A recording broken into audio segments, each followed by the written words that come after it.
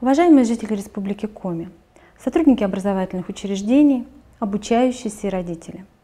Сегодня отрасль образования продолжает работать в условиях режима самоизоляции. Практически во всех городах и районах ежедневно в детские сады приходит более двух тысяч малышей. Спасибо всем, кто в эти дни работает в дошкольных учреждениях и окружает заботой наших детей. Продолжается учебный год в школах, техникумах, колледжах, учреждениях дополнительного образования и вузах. С учетом мер повышенной безопасности мы продолжаем учить и учиться в дистанционном формате. Это вынужденная и временная мера. Мы все с нетерпением ждем, когда возобновим учебный процесс в привычном нам состоянии. Дистанционное обучение ни в коем случае не заменит традиционное. В этой связи я прошу вас не поддаваться на многочисленные провокации и призывы в сети интернет. Благодарю всех вас, а особенно школьников и их родителей, студентов, за трудолюбие, усердие, терпение и понимание. Мы понимаем, с какими трудностями все столкнулись. С учетом прогноза ситуации мы приняли решение в мае продолжить дистанционное обучение. Я обращаюсь к педагогам.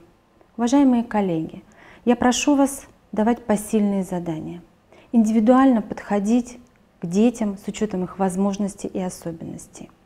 И при необходимости и по возможности оказывать помощь родителям. Мы рекомендовали нашим учреждениям образования, они прислушались к нашим рекомендациям, продолжить обучение и в период между майскими праздниками. Наши педагоги хотят реализовать образовательные программы, в первую очередь для того, чтобы снизить учебную нагрузку на детей в следующем учебном году. Мы просим вас, дорогие школьники, студенты, родители, с пониманием отнестись к этому решению. Я благодарю вас за те слова благодарности, которые в последние дни поступают на горячие линии. Завершить учебный год мы планируем для обучающихся первых-четвертых классов 22 мая при пятидневной учебной неделе или 23 мая при шестидневной учебной неделе. Для школьников 5-11 классов мы предлагаем завершить учебный год 29 мая при пятидневной учебной неделе, 30 мая при шестидневной учебной неделе. Для студентов учебный год закончится 30 июня, но здесь мы будем подходить индивидуально каждому учреждению среднего профессионального образования.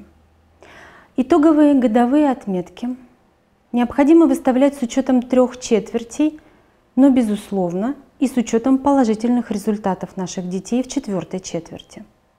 Всероссийских проверочных работ в этом учебном году не будет, но самостоятельные и контрольные работы вполне допустимы. Обращаюсь к образовательным учреждениям взвешенно и обдуманно подойти к формату их проведения. Выпускники 9 и 11 классов готовятся к экзаменам. Для девятиклассников мы пока предполагаем, что 9 июня они сдадут экзамены по русскому языку, а 16 июня по математике. Но в условиях мер повышенной безопасности. И именно поэтому мы увеличим количество пунктов проведения экзаменов для девятиклассников. Одиннадцатиклассники, как я говорила уже ранее, должны приступить к сдаче экзаменов 8 июня. Уважаемые девятиклассники и одиннадцатиклассники, нам необходимо подготовиться к выпускным экзаменам. Мы предлагаем вам дополнительно воспользоваться порталом дети11.рф, где размещены многочисленные материалы для вашей, в том числе самостоятельной подготовки. Мы предлагаем посмотреть телепроект «Моя школа в онлайн».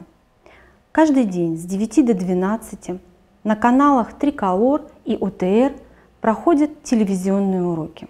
Вы можете воспользоваться ими, чтобы подготовиться к экзаменам.